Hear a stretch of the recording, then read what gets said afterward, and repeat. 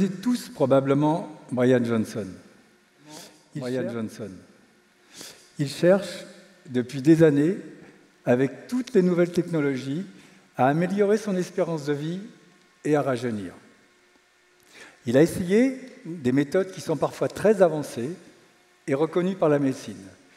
Mais il utilise aussi des molécules qui sont parfois très hasardeuses. Il n'est pas le seul. Il y a tout un écosystème, toute une mouvance autour de ça, qui depuis 20 ans a changé ses modalités, mais a toujours échoué. Quel est le but? Le but est de gagner plus d'une année d'espérance de vie par an. Actuellement, dans les sociétés comme ici, les sociétés développées, on gagne à peu près un trimestre par an. Lui prétend être déjà à six mois. Mais est-ce que ces méthodes ne sont pas risquées? Et de toute façon, on ne connaît pas leurs effets sur le long terme On peut se demander s'il n'y a pas des méthodes plus simples et tout aussi efficaces. C'est le but de la médecine préventive que j'ai développée depuis 25 ans.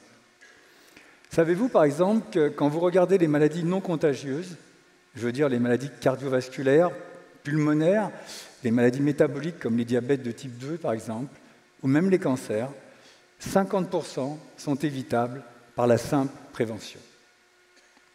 Alors, vous allez me dire comment, on fait avec cette prévention. Je vais vous citer des cas de quelques patients. Tout, tout d'abord, une jeune femme de 45 ans, sportive de haut niveau, qui lit dans un de mes livres qu'en faisant un coroscanner, ça peut être très utile à la santé. Un coroscanner, si vous le savez peut-être, c'est le scanner des petites artères du cœur qui peuvent conduire à un infarctus. Elle se rend chez son radiologue et elle passe directement du radiologue à la salle d'opération. Parce qu'une de ses artères principales du cœur était bouchée à 90% sans aucun symptôme. Première leçon, les maladies restent silencieuses pendant très longtemps. Deuxième patient, un homme de 30 ans, qui était en forme, mais qui voit apparaître des aftes, de l'herpès buccal, un petit amaigrissement et une modification de son humeur. On lui fait bien sûr un bilan, on regarde ses virus et on check tout son microbiote intestinal. Pourquoi? Parce qu'on sait depuis longtemps, et on l'a vu avec le Covid, les virus sont capables de modifier profondément le microbiote intestinal et de surcroît, ils peuvent attaquer le nerf vague, qui est le seul nerf de la communication entre notre intestin et notre cerveau. Donc chez lui, on a réparé ses virus, on a modifié son microbiote, et en quelques mois, il a vu disparaître herpès, les aftes, et son humeur est revenue. Deuxième leçon, les maladies nous envoient des signaux faibles pendant très longtemps avant d'être sévères. Et de surcroît, elles sont réversibles souvent pendant tout ce temps-là. Troisième patient, c'est un homme de 55 ans, stressé dans son travail, et qui commence à avoir des boulimies de sucre le soir en rentrant chez lui. Vous connaissez peut-être ce type d'addiction. Il y a beaucoup de personnes qui ressentent ça. Pourquoi? Parce qu'on vit avec le cortisol. Le cortisol, c'est l'hormone du stress, et elle a un pic le matin et une chute en fin d'après-midi. Mais si vous mangez du sucre au moment de cette chute, vous remontez votre cortisol, vous remontez votre dopamine, et ça vous donne une sensation de confort, mental et physique très agréable. Qu'est-ce qu'on a fait chez lui? On a modifié son planning, on a modifié son repas de midi qu'on a renforcé un peu, et surtout, on lui a donné un goûter avec des sucres lents à 17 heures. En quelques semaines, ses boulimies ont disparu et même son sommeil s'est amélioré. Troisième leçon, un petit effort souvent donne de grands effets. D'ailleurs, si vous avez des rendez-vous à prendre dans la journée, je vous conseille de les prendre le matin parce qu'on est beaucoup plus résistant au stress le matin que l'après-midi. Alors vous allez me dire maintenant, il y a un fossé entre celui que je suis et celui que je voudrais être. Celui que je voudrais être qui devrait se lever à 6 heures du matin pour faire son jogging tous les jours, qui devrait se coucher de bonne heure le soir et avoir un dîner frugal. Et puis celui que je suis réellement, euh, qui va binger un Netflix à minuit avec une tablette de chocolat. Pourquoi? Ben, C'est une histoire de dopamine. La dopamine, comme son nom l'indique, dope notre cerveau. La dopamine, c'est le neurotransmetteur de la récompense.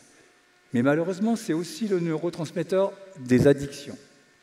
Et de surcroît, c'est un neurotransmetteur dont on n'a pas de réservoir. On est obligé de la reconstituer toute la journée. Et là, le marketing l'a très bien compris, puisqu'ils vont nous proposer sans arrêt de manger, de boire, d'aller sur les réseaux sociaux, voire de prendre un café. Un café, c'est très dopaminergique. Mais quand on fait ça, on a en fait des petites récompenses et très insatisfaisantes pour notre cerveau. Alors comment passer des mauvaises habitudes aux bonnes habitudes? Là, les sciences comportementales nous ont beaucoup apporté. Pourquoi? Parce que les biais cognitifs sont les mêmes chez tous les humains. On est tous fait pareil.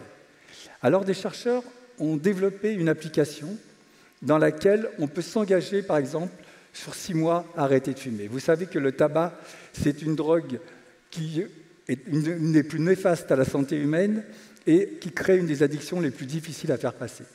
Alors ces chercheurs ont développé l'application dans laquelle on peut s'engager, par exemple, sur six mois à arrêter de fumer. Mais on va mettre un prix sur cet engagement. Si par exemple vous fumez un paquet par jour pendant six mois, ça représente, disons, 2000 euros. Vous allez mettre 2000 euros sur votre engagement. Au bout de six mois, vous devez fournir une attestation prouvant que vous avez bien arrêté de fumer. Ça peut se doser facilement dans les urines. Mais si vous avez échoué, vous allez vous acquitter de votre amende. Mais vous allez le faire à des gens que vous détestez. Si par exemple vous êtes de l'OM, vous allez donner au PSG. Si vous êtes écolo, vous allez le donner à des chasseurs. C'est une double peine. D'autant plus que quand vous l'aurez fait, vous l'aurez fait sur tous vos réseaux sociaux. Donc tous vos contacts seront jugés arbitres de votre échec. Pour vous dire, les sciences comportementales ont beaucoup fait progresser la médecine préventive. Mais personne n'est parfait, évidemment.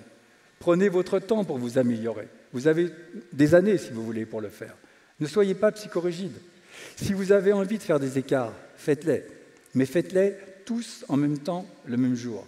C'est beaucoup moins nocif à votre santé que si vous en faites un par jour. Parce que vous laissez à votre corps le temps de se réparer, le temps de se régénérer. Et ça, il sait très bien faire. Mais pour s'améliorer, il faut se connaître. Et se connaître, ça veut dire faire des bilans. On peut actuellement facilement checker la salive, le sang, les urines, les cheveux par exemple. On peut combiner tous les paramètres pour avoir une sorte de panorama de sa santé. On peut aussi faire des examens, bien sûr, beaucoup plus sophistiqués. Certains d'entre vous le savent peut-être, on peut aussi s'auto-évaluer. Les capteurs de glycémie sont très pratiques pour savoir quel aliment peut nous faire du bien ou pas et à quelle heure. Mais vous allez me dire, tout ça n'est pas démocratisé. C'est vrai. Mais c'est une révolution qui est en marche.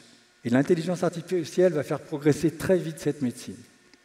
On va tous en bénéficier vraiment bientôt. Pourquoi? Parce que vous n'êtes pas votre voisin. Chaque être humain est unique et a besoin de sa propre médecine.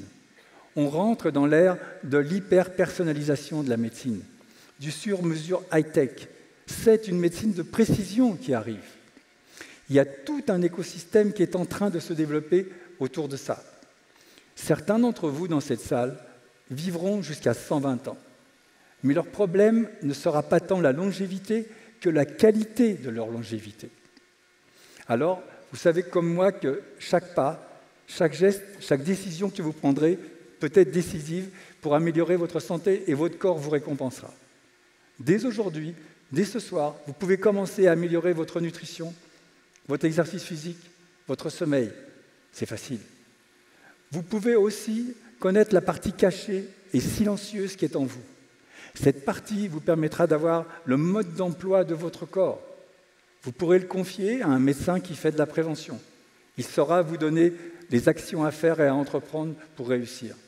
Ça, ce n'est pas de l'utopie, ce n'est pas du transhumanisme, vous n'êtes pas Brian Johnson.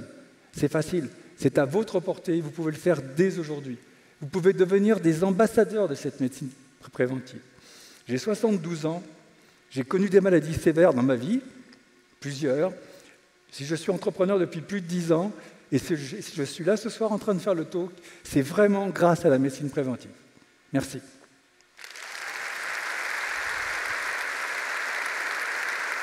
Claude Dalle. Merci Claude. Merci. On, on essaie de diminuer un peu, on essaie de un peu le sucre.